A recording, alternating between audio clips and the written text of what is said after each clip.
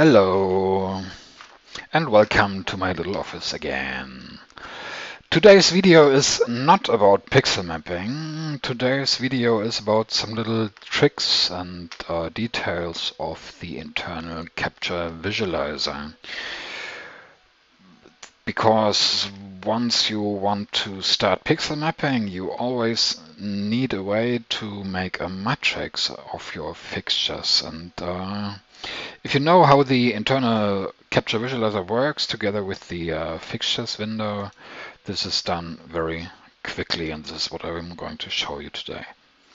So as always, we start with a new show disk and new show. Here we go. Next is we open the visualizer window, open workspace window and capture, capture visualizer. We also open the capture visualizer settings, um, open workspace window and capture visualizer settings. In this window, let's go to the appearance section change ambient to say 90% and the exposure to 100%.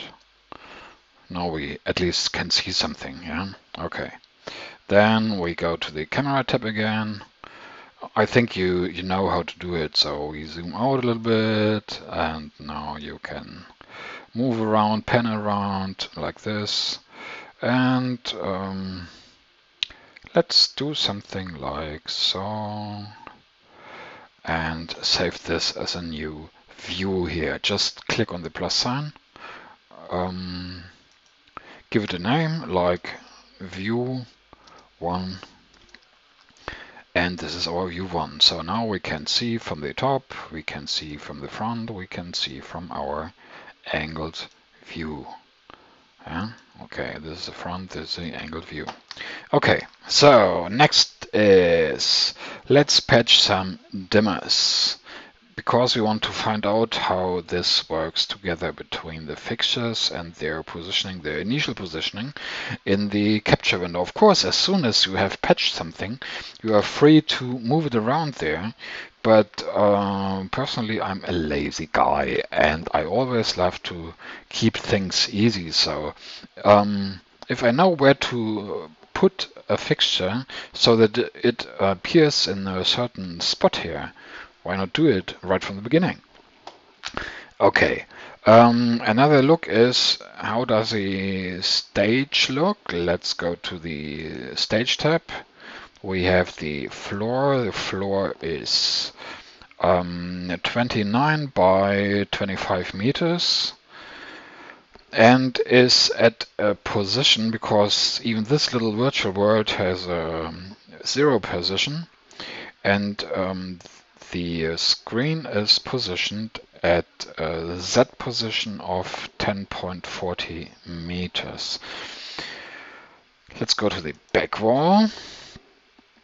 Back wall is also 29 meters wide. It's 12 meters high and it's positioned at minus 2 meters. This means that um, our origin of this stage is somewhere here. Yeah? So this is minus 2 meters plus would go towards the audience downstage. This is just good to know. Okay, so let's patch a dimmer. Patch and a dimmer. Dimmers and just click on patch dimmers. Okay, this has created a dimmer on our first slot here and it appeared here. Let's try if this is, works correct. Exit the patch menu, select the fixtures and go to locate. By the way, I changed the wheels so that you always can see the position where I'm right now. So this dimmer, slot number one, it appeared at position X minus 12, um, at position Y 8 plus 8, and position Z 0. So let's change the position X to, uh, well, more minus goes to the left, more or less minus or plus goes to the right. If I click in there and input 0, then I am exactly at center, uh, upstage center. So let's patch the next dimmer. So it looks like the first dimmer was like at minus 12, yeah, and I can then change it manually if I want to. Let's patch the next dimmer. Patch dimmers. And again, patch dimmers. Yeah. And here's our second dimmer. Okay, select it again and press locate. And this is our second dimmer. And this one um, appeared at position X minus 11.50. So the first one was originally at minus 12.0 and the second one is at minus 11.50. Um, so if we have a quick look from above, it is like this. So it is uh, the first one was originally here in this spot. Now we have the second one here. And it goes all the way there. So if we patch some more dimmers, um, patch like dimmers and let's do 20 dimmers. 20 patch dimmers. Now we have a neat row of dimmers here. Yeah? Okay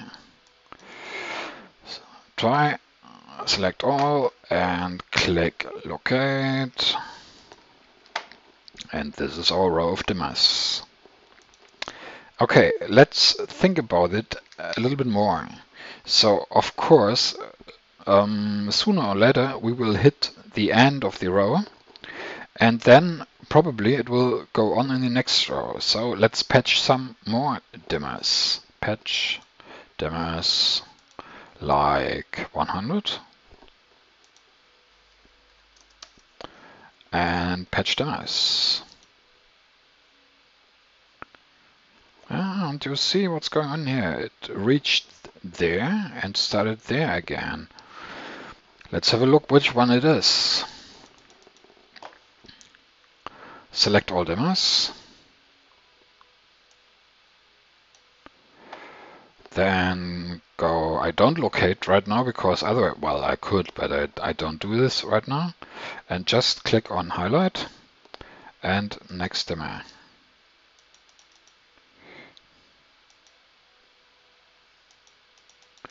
And now we see, okay, this is this one. Scroll the fixtures window up again. So about the 25th is a center. You see that? So this is center, 25th, and then probably number 50 is the end of the row. This is the end of the row here. And next one is next row, yeah. Okay. If we are right, then number 100 is the end of the second row. Let's have a look. 100 is there. 101 is there. So let's keep this in mind. Originally, the first slot translates to um, to upstage right. Um, um, slot number 25 is upstage center and slot number 50 is upstage left. Um, and so on and so on. So the um, default, these are only default. Again, uh, this is only what it defaults to, and you can easily change it later on. But uh, sometimes, well, for lazy guys like me, it's easy to stick to the original defaults. So, if we keep this in mind, then we can do a little trick to create such a matrix. This trick goes as follows. We again delete all the fixtures. Um, patch delete.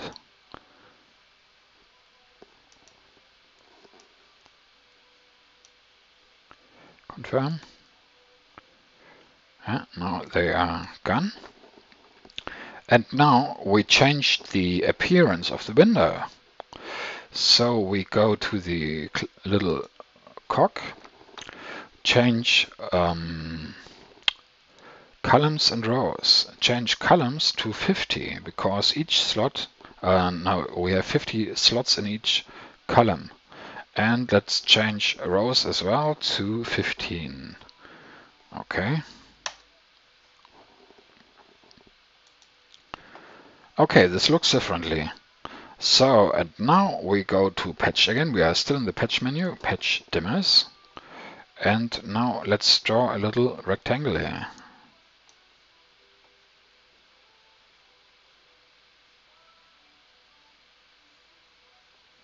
Still takes a little while for Capture to create the fixtures there.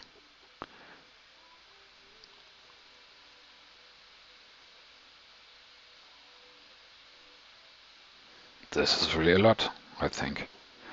Um, I have actually I have no idea how many we created here.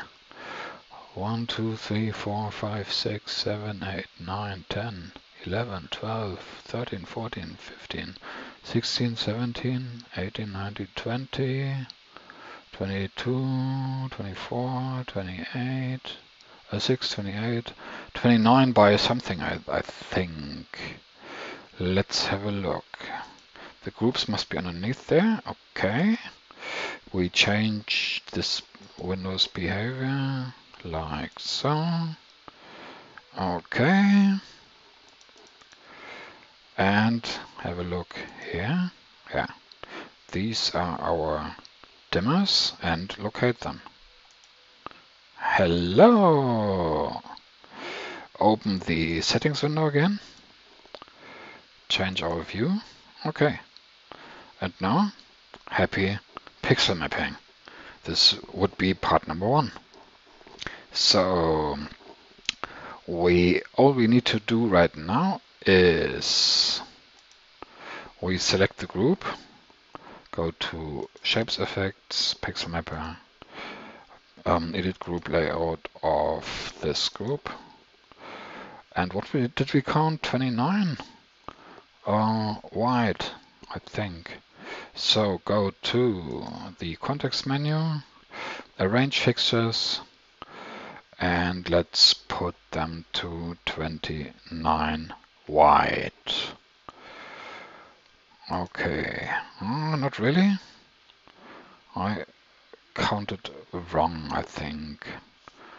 Well, not that big a problem. 29, 28 maybe.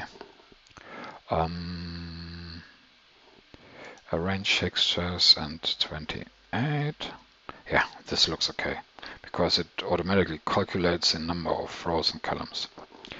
Okay. Exit, close the window. Um, this one is there. This one is there. This one is there. Yeah, we are correct. Okay, cool. Um, and now let's create an effect with that group and pixel mapper create effect and as always we use our little rectangle yeah I can arrange it like this so that we can see something and you already can play with that so width is a little bit narrower then height is high. Add an animation like this. And add another one like this. Yeah, and that's it. So record and here. So again, um, the default stage, of course you can change everything here, but the default stage uh, is 29 meters wide, patching fixtures by default um, creates positions of the fixtures from minus 12 to plus 12 meters, from uh, stage right to stage left. And if you think about this and make use of that, it is very easy to create such a matrix.